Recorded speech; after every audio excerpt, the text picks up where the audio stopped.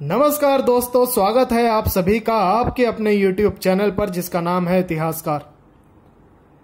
पिछले पार्ट में हम बात कर रहे थे हुमायूं के बारे में, जिसमें हमने आपको बताया था कि हुमायूं मुगल सल्तनत का दूसरा बादशाह था और बाबर का सबसे बड़ा बेटा था। और साथ ही हुमायूं बड़ा बदनसीब बादशाह भी था, क्योंकि उसके भाइयों ने उसका साथ कभी दिया ही नहीं था। दोस्तों शेर शाह सूरी से हुमायूं का दो बार युद्ध हुआ।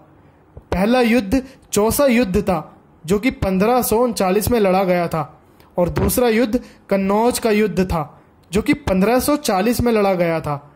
और दोनों ही युद्ध में हुमायूं बुरी तरह से हार गया था।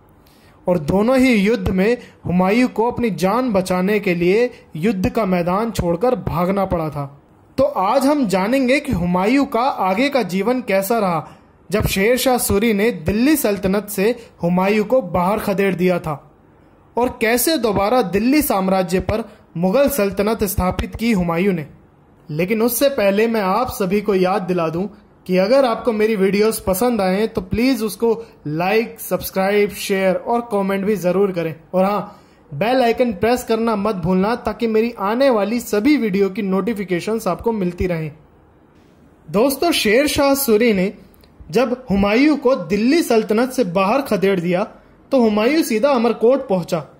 उस वक्त अमरकोट के राजा राणा प्रसाद राव ने हुमायूं को अपने महल में शरण दी, और हुमायूं अपनी पत्नी के साथ कई साल तक वहाँ रहा।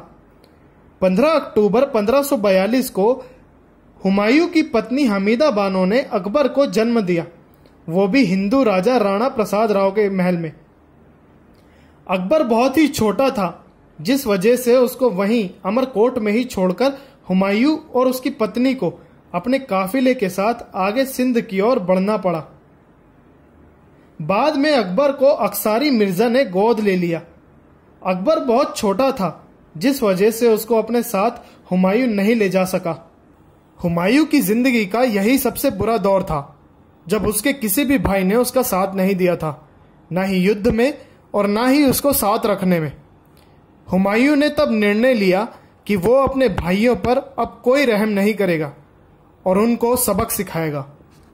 फिर सिंध में जाकर हुमायूं ने सिंध के शासक आमिर हुसैन उमरानी के पास रहे, क्योंकि आमिर हुसैन हुमायूं को बहुत इज़्ज़त देते थे और सिंध में रहकर ही हुमायूं ने हथियार इकट्ठा किए, नई आर्मी बनाई और दूसरे शासकों के साथ गठबंधन किए और पर्शिया चले गए। पर्शिया में हुमायूं का स्वागत किया गया। उस वक्त पर्शिया के शासक शाह तमास्प थे। उन्होंने हुमायूं को अपनी शर्तों पर शरण दी।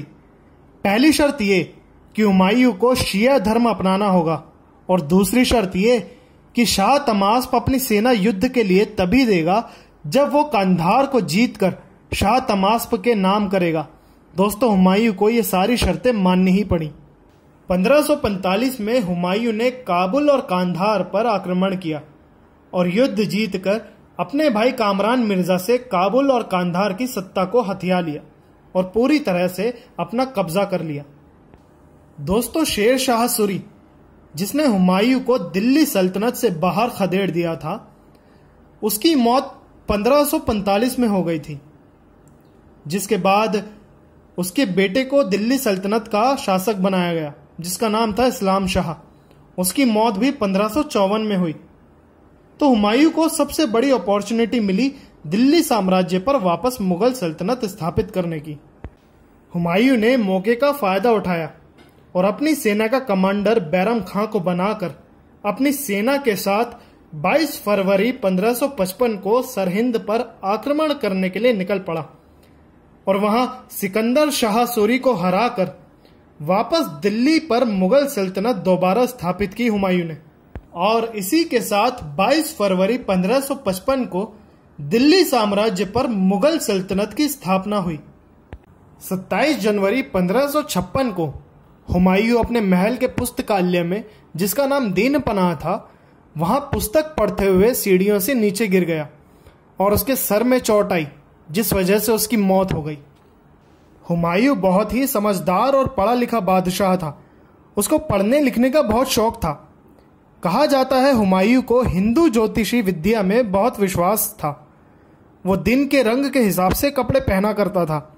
जैसे रविवार को पीला रंग, शनिवार को काला रंग, सोमवार को सफ़ेद रंग और भी कई दिनों के हिसाब से कई रंगों के कपड़े पहना करता था वो।